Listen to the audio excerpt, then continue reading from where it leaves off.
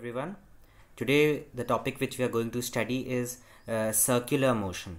Okay, this is one of the most uh, easy topics of this chapter. अभी हम लोग motion chapter पढ़ हैं मोशन का ही एक पार्ट है सर्कुलर मोशन सो so, अभी तक आप लोग कुछ बेसिक टर्मिनोलॉजीज इस चैप्टर की पढ़ चुके होंगे for example distance displacement speed velocity average speed average velocity acceleration retardation ये सारी चीज़ आप लोग पढ़ चुके होंगे अब इन सारी क्वांटिटीज़ को यूज़ करके हमें देखना है कि हम इन क्वांटिटीज़ को सर्कुलर मोशन में कैसे अप्लाई करते हैं।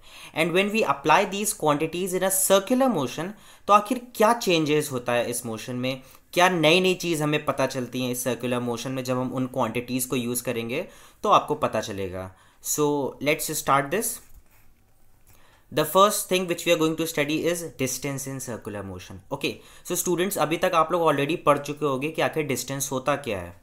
मैं फिर से बता देता हूँ it is the total path covered by any body जितना भी रास्ता एक बॉडी कवर करी होती है, उस टोटल पाथ को हम लोग कहते हैं distance but when it comes in circular motion चीज़ वही रहती है, कुछ फॉर्मूलेज एडअप हो जाते हैं। फॉर एग्ज़ाम्पल जब भी हम सर्कुलर मोशन में पढ़ेंगे तो आपको नोट ये करना होगा कि एक बॉडी सर्कुलर पाथ पे कैसे चलेगी।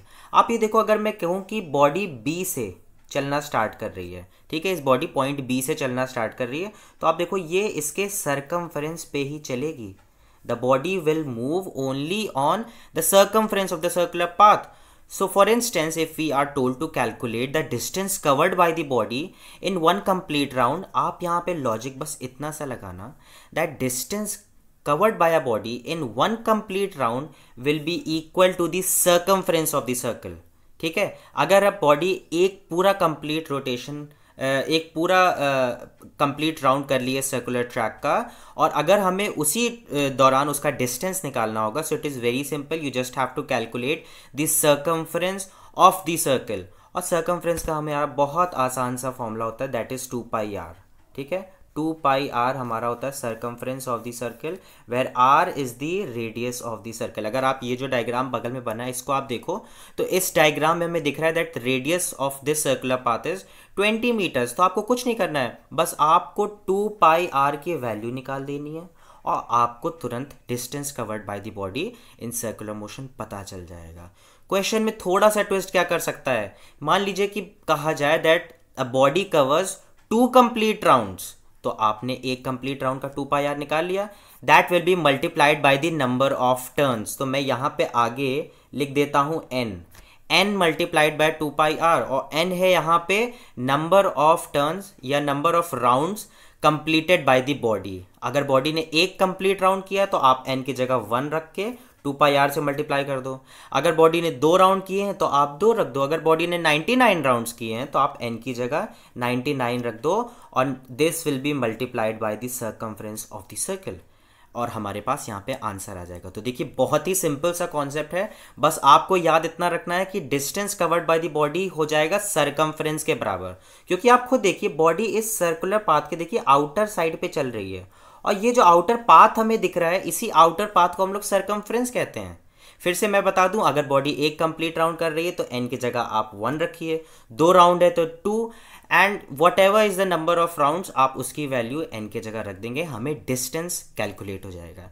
तो देखिए आई होप आप लोगों को समझ में आया होगा, बहुत ही सिंपल सा कॉन्सेप्ट था यहाँ पे। आगे बढ़ते हैं डिस्टेंस के बाद जो अगली क्वांटिटी जिसको हम यूज़ करते हैं सर्कुलर मोशन में, वो आती है हमारी डिस्प्लेसमेंट ठीक है व्हाट इज़ डिस्प्लेसमेंट अब देखते हैं कि डिस्प्लेसमेंट में क्या होता है। टॉक अबाउट डिस्प्लेसमेंट तो सबसे पहले हम याद कर लें कि डिस्प्लेसमेंट हमने क्या पढ़ा था। We studied that displacement is the shortest distance ठीक है, ये शॉर्टेस्ट डिस्टेंस होती है between the initial and the final position of the body ठीक है तो ये भी एक तरीके का डिस्टेंस ही होता है बट सिंपल वर्ड्स में हम लोग समझ सकते हैं that this is actually a shortcut ठीक है, ये इनिशियल और फाइनल पोजीशन का शॉर्टेस्ट पाथ होता है, उसी को हम लोग डिस्प्लेसमेंट कहते हैं। आप ये देखो, मैंने कहा इनिशियल एंड फाइनल पोजिशन आप सपोज़ करो बॉडी बी पॉइंट से मूव करना स्टार्ट हुई है। ठीक है? And after completing one round देखो वन राउंड कंप्लीट करने के बाद ये उसी जगह पे वापस आ जाएगी। दैट मीन्स यहाँ पे initial and final position are same ठीक है? अगर बॉडी ने एक कंप्लीट राउंड किया है तो यहाँ पे इनिशियल और फाइनल पोजीशन बॉडी की हो जाएगी सेम इसका ये मतलब है कि दोनों पॉइंट्स के बीच में कोई भी डिस्टेंस नहीं बचेगी। बस यही चीज़ आपको नोट करना है और यहाँ से हमें पता चल जाएगा कि अगर इनिशियल और फाइनल पोजीशन के बीच में कोई भी डिस्टेंस नहीं है तो बेटा डिस्प्लेसमेंट हो जाता है ज़ीरो ऐसे केस में डिस्प्लेसमेंट हो जाता है ज़ीरो दैट मीन्स अगर आपको डिस्प्लेसमेंट निकालना है बॉडी का जो कि एक सर्कुलर ट्रैक पे ट्रैवल कर रही है तो अगर ये कंप्लीट राउंड करेगी अच्छा यहाँ पे दूसरी बात आप लोग के माइंड में ये आ सकता है कि अगर एक कंप्लीट राउंड करी है, तब तो इसका डिस्प्लेसमेंट ज़ीरो हो गया. अगर ये दो three four five six it can travel any number of round अगर ऐसा कुछ होता है, तब क्या होगा answer again the answer will be zero ठीक है? कोई भी नंबर हो, अगर आप उसको ज़ीरो से मल्टीप्लाइड करोगे so it is very obvious कि आंसर आपका ज़ीरो ही आना है। तो यहाँ पे हमें ये समझ में आ गया कि बॉडी अगर एक कंप्लीट राउंड कर रही है तो वहाँ पे उस बॉडी का डिस्प्लेसमेंट ज़ीरो हो जाएगा अगर ये एक सर्कुलर ट्रैक है तो। लेकिन क्या होगा अगर ये कंप्लीट राउंड ना कवर करे? दैट मीन्स फॉर इंस्टेंस आप देखिए इस डायग्राम में एक पॉइंट है बी और एक पॉइंट है ए इन दोनों पॉइंट्स को देख के ये पता चल रहा है कि बॉडी ने हाफ़ राउंड कंप्लीट किया है। ठीक है? बॉडी ने हाफ़ राउंड कंप्लीट किया है। तो अगर हम लोगों को डिस्प्लेसमेंट निकालना है, फिर से हम अपना कॉन्सेप्ट लगाएँगे कि इनिशियल और फाइनल पॉइंट के बीच में शॉर्टेस्ट डिस्टेंस अब आप देखो, एक तो हो जाएगा नॉर्मल ये हो जाएगा नॉर्मल पाथ कि बॉडी इसी सर्कुलर ट्रैक पे ट्रैवल करेगी। और शॉर्टकट क्या होगा? ये देखिए शॉर्टकट सीधा सीधा रास्ता होगा यहाँ पे। शॉर्टकट सीधा सीधा रास्ता हो जाएगा। अब आप ये देखिए ये जो लाइन मैंने बना दी है, ये कुछ और नहीं, ये उस सर्किल का डायामीटर है, ठीक है? सर्किल का डायामीटर है और डायामीटर होता है टू टाइम्स रेडियस उस केस में अगर आपसे ये क्वेश्चन पूछा जाएगा कि एक बॉडी ने एक सर्कुलर पाथ पे हाफ़ कंप्लीट राउंड किया है so you have to find out the displacement और इस कॉन्सेप्ट से आप बता सकते हो कि उसका डिस्प्लेसमेंट डायमीटर के बराबर हो जाएगा। अगर ये जो डायग्राम बना है, हम इसी को देखें तो आप देखो बेटा रेडियस ट्वेंटी मीटर्स है। So that is very easy to understand कि यहाँ पे डायमीटर 40 मीटर्स होगा। और यही इसका आंसर भी हो जाएगा। ठीक है डिस्प्लेसमेंट मैं फिर से बता दूँ, अगर हाफ़ कंप्लीट राउंड बॉडी ने ट्रैवल किया सर्कुलर ट्रैक पे तो उसके डायमीटर के बराबर हो जाएगा। ठीक है, बस इतना सा यहाँ पे कॉन्सेप्ट था। अगर वन कंप्लीट राउंड होगा तो डिस्प्लेसमेंट ज़ीरो और अगर हाफ़ राउंड होगा तो यहाँ पे डिस्प्लेसमेंट हो जाएगा टू आर आई होप आप लोगों को ये समझ में आया है। बढ़ते हम अपनी अगली क्वांटिटी को जिसको हम सर्कुलर मोशन में यूज़ करेंगे एंड दैट इज़ वेलोसिटी अब यहाँ पे वेलोसिटी का बहुत ही अच्छा कॉन्सेप्ट है, जिसको अगर एक बार आपने समझ लिया तो आपको कभी भी इसमें डाउट नहीं होगा। ठीक है, अगर मैं ये कहूँ कि इस ट्रैक पे सर्कुलर ट्रैक पे अगर बॉडी मूव कर रही है तो वो हर पॉइंट पे अपनी वेलोसिटी चेंज कर रही है। ठीक है, मैं रिपीट करता हूँ। मैंने कहा कि अगर एक बॉडी सर्कुलर ट्रैक पे ट्रैवल कर रही है तो आपको गौर करने की बात यह है कि हर पॉइंट पे उस बॉडी की वेलोसिटी चेंज हो रही है। ऑल दो उसका मैग्नीट्यूड नहीं भी चेंज हो रहा, फिर भी। दैट मीन्स यहाँ पे अगर बॉडी बी पॉइंट से ट्रैवल करना स्टार्ट हुई है, और बी पॉइंट पे उसकी वेलोसिटी थी फिफ्टी मीटर पर सेकेंड ठीक है? इसी कांस्टेंट वेलोसिटी के साथ बॉडी सर्कुलर ट्रैक पे मूव कर रही है। बी से ये मूव करते करते ए पॉइंट तक पहुँची। यहाँ पे भी इसकी वेलोसिटी 50 मीटर्स पर सेकेंड ही थी। तो आप लोग ये सोच रहे होगे, जब इसकी वेलोसिटी का मैग्नीट्यूड चेंज ही नहीं हो रहा है तो आखिर ये कैसे पॉसिबल है कि हर पॉइंट पे इसकी वेलोसिटी डिफरेंट होगी? बस यही कॉन्सेप्ट आप लोगों को समझना है। छोटा सा कॉन्सेप्ट है आपका। देखिए, मैंने जब आपको वेलोसिटी पढ़ाया था तो मैंने आपको बताया था कि वेलोसिटी होती है एक वेक्टर क्वांटिटी ठीक है? Velocity is a vector quantity and vector quantities किस पे किस पे डिपेंड करती हैं? मैग्नीट्यूड उसके साथ साथ डायरेक्शन पे भी डिपेंड करती हैं। इसका ये मतलब है कि अगर मैग्नीट्यूड नहीं चेंज हो रहा बॉडी का तो इसकी, इसका जो डायरेक्शन है बॉडी का, ये हर पॉइंट पे चेंज हो रहा। बिल्कुल सही समझा आपने।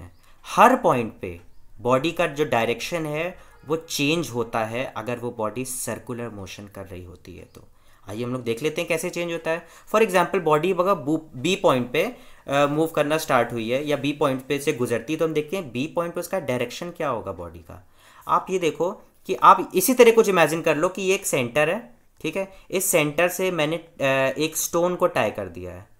एक स्टोन को मैंने सेंटर से टाई कर दिया और उसको हम लोग घुमा रहे हैं इसे। जैसे बचपन में आप लोग करते होगे ना प्ले ग्राउंड में जाके, वैसे अब तो प्ले ग्राउंड में जाने का समय नहीं आ गया है। ये जब से कोविड आ गया है so we all are packed inside our houses but let's imagine imagine कर लेते हैं कि पहले, आज से कई साल से पहले जब हम लोग प्ले ग्राउंड में जाते थे और ऐसे ऐसे घुमाते थे एक सर्कुलर ट्रैक पे स्टोन को टाई करके तो वहाँ पर उसकी स्टडी हम लोग करते हैं। ये बॉडी एक सर्कुलर ट्रैक पे ऐसे मूव कर रही है। अब आप ये सोचो, ये जो रस्सी है जिससे ये बंधी हुई है। अगर इस रस्सी को तोड़ दिया जाए तो ये स्टोन किस डायरेक्शन में मूव करेगा? आप कहोगे, सर, कुछ इस तरीके से ये मूव करेगा। बिल्कुल सही। और ये जो आपको डायरेक्शन दिख रही है, इसको हम लोग फिजिक्स के टर्म्स में कहते हैं this is actually a tangential direction ठीक है? This is the tangential direction अब आप सोचोगे सर डायरेक्शन पढ़ रहे थे, ये अचानक से पता नहीं टेंजेंट वगैरह क्या गया टेंजेंशियल डायरेक्शन है। ठीक है, मैं आपको समझाता हूँ टेंजेंट क्या होता है। टेंजेंट बेटा एक ऐसी लाइन होती है, जो कि एक सर्किल से सिर्फ़ एक पॉइंट से छूते हुए पास होती है। फॉर एग्ज़ाम्पल आप समझ लो, ये सर ये एक लाइन है, ये देखो, ये ऐसे पास हो रही है। अब आप देखो, ये सर्किल पे सिर्फ़ एक पॉइंट पे टच हो रही है, और ऐसी ही लाइन को हम लोग कहते हैं टैंजेंट इसी लाइन को हम लोग कहते हैं टैंजेंट तो आप उसी स्टोन के एग्ज़ाम्पल को लो। अगर आप किसी भी पॉइंट पे छोड़ोगे तो हर पॉइंट पे बेटा इसकी डायरेक्शन अलग अलग होगी। जैसे मान लीजिए कि ये बॉडी इस डायरेक्शन इस पॉइंट पे आ गई है। अब यहाँ पे उस, भले उसकी मैग्नीट्यूड अभी भी 15 मीटर पर सेकेंड है, लेकिन अब आप ये देखो, इसकी टेंजेंशियल डायरेक्शन हो जाएगी कुछ ऐसे। देखिए, दोनों डायरेक्शन चेंज हो गई है। अब बॉडी आगे मूव करके इस पॉइंट पे पहुँची है। इसकी टेंजेंशियल डायरेक्शन ये देखिए, कुछ हो जाएगी ऐसे। जब बॉडी ए पॉइंट पे पहुंचेगी तो इसकी टेंजेंशियल डायरेक्शन हो जाएगी कुछ ऐसे। और इसी तरह बॉडी अगर एक सर्कुलर ट्रैक पे मूव कर रही है तो किसी भी पॉइंट पे रहे। हर पॉइंट पे उसकी जो डायरेक्शन होगी, वो पिछले पॉइंट से डिफरेंट होगी। और अगर डायरेक्शन चेंज कर रही है दैट मीन्स वेलोसिटी चेंज कर रही है। Because velocity is a vector quantity वो मैग्नीट्यूड के साथ साथ डायरेक्शन पे भी डिपेंड कर रही है। आई नो कि यहाँ पे मैग्नीट्यूड नहीं चेंज हो रहा but the thing which we need to focus here is उसका डायरेक्शन तो चेंज हो रहा है। और अगर एक बॉडी का डायरेक्शन चेंज हो रहा है डजेंट मैटर अगर उसकी मैग्नीट्यूड सेम है तो क्या हुआ? तो उसकी वैल्यू चेंज हो रही है। दैट मीन्स हम यहाँ पे सर्कुलर मोशन में हमेशा ये इमेजिन करते हैं कि क्योंकि, मैं फिर से इसका देखिए फाइनल आंसर क्या यहाँ पे निकला। That just because at every point the direction of motion of the body is different that is why the velocity of the body moving in a circular path is different at all the points her point पे velocity हम लोग different मानते हैं, क्योंकि हर point पे उसका direction same होता है। आपको कन्फ्यूज़न नहीं क्रिएट करना होगा कि यहाँ पे मैग्नीट्यूड तो सेम है। अगर वो 50 मीटर पर सेकेंड से ए पॉइंट पे था तो 50 मीटर पर सेकेंड से बी पॉइंट पे भी है। तो आपको यहाँ पे ये याद रखना होगा कि भले मैग्नीट्यूड सेम है बट उसका डायरेक्शन चेंज हो रहा है। और अगर डायरेक्शन चेंज हो रहा है तो we consider the velocity to get change यहाँ पे वेलोसिटी चेंज हो रही है। तो आपको बस याद ये रखना होगा कि जब भी बॉडी सर्कुलर पाथ पे मूव करती है तो उसका वेलो उसकी वेलोसिटी हर पॉइंट पे डिफरेंट होती है। ठीक है? भले उसका मैग्नीट्यूड सेम है तो रीज़न यहाँ पे ये होता है क्योंकि हर पॉइंट पे जो बॉडी का डायरेक्शन होता है वो डिफरेंट होता है। डायरेक्शन कैसा होता है? डायरेक्शन होता है टेंजेंशियल सो so, अब हमने वेलोसिटी पढ़ लिया तो आगे बढ़ते हैं अपने नेक्स्ट क्वांटिटी पे। ये भी वेलोसिटी से मिलता जुलता कॉन्सेप्ट है।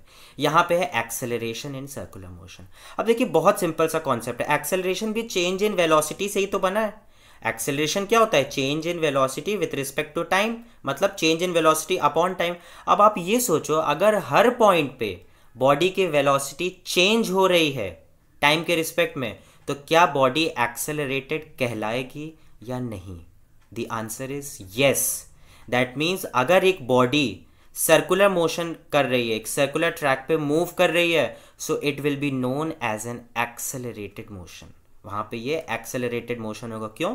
क्योंकि बॉडी की जो वेलोसिटी है, वो हर पॉइंट पे यहाँ पे चेंज हो रही है। वेलोसिटी को सिर्फ़ और सिर्फ़ आप मैग्नीट्यूड मत समझ लेना। ये मत समझ लेना कि दोनों पॉइंट पे मैग्नीट्यूड सेम है तो चेंज इन वेलोसिटी तो कुछ नहीं हुआ नो वेलोसिटी मैग्नीट्यूड के साथ साथ डायरेक्शन भी है। क्या हुआ उसका मैग्नीट्यूड नहीं चेंज हो रहा तो उसका डायरेक्शन तो चेंज हो रहा है। और क्योंकि अगर बॉडी की डायरेक्शन चेंज हो रही है तो इसका मतलब उसकी वेलोसिटी चेंज हो रही है। और अगर वेलोसिटी चेंज होती है, तब तो हमें पता ही है कि change in velocity with respect to time को हम लोग एक्सेलरेशन कहते हैं। इसका यहाँ से फाइनल आंसर ये निकला है कि अगर कोई भी बॉडी एक सर्कुलर पाथ पे मूव कर रही है, वो एक सर्कुलर मोशन कर रही है तो वो एक तरीके का एक्सेलरेटेड मोशन होगा। और आंसर उसका ये होगा, क्योंकि हर पॉइंट पे उसकी वेलोसिटी चेंज हो रही है। हर पॉइंट पे वेलोसिटी चेंज क्यों हो रही है? क्योंकि हर पॉइंट पे बॉडी के मूवमेंट का डायरेक्शन चेंज हो रहा है। सिर्फ़ और सिर्फ़ इतने छोटे से आपके कॉन्सेप्ट थे। ठीक है? हमने अभी टोटल मिला के बस इतना समझा कि सर्कुलर पाथ पे डिस्टेंस कैसे हम कैलकुलेट करते हैं डिस्प्लेसमेंट कैसे कैलकुलेट करते हैं? साथ ही में हमने सर्कुलर मोशन में वेलोसिटी और एक्सेलरेशन के बारे में समझा है। फाइनल आंसर हमारा ये आया कि बॉडी का जो वेलोसिटी होता है वो हर पॉइंट पे चेंज करता है सर्कुलर मोशन पे। रीज़न क्योंकि वो एक आ, उसका जो डायरेक्शन होता है वो हर पॉइंट पे चेंज होता है।